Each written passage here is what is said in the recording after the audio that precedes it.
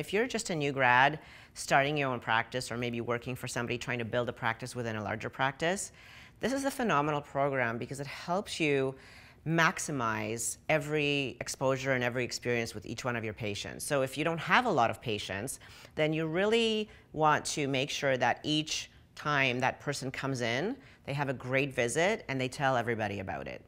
If you're an existing practice with a number of patients, they're probably some things you don't even realize that you could be improving. There are certain systems and customer service experiences that you could tweak to make you even better.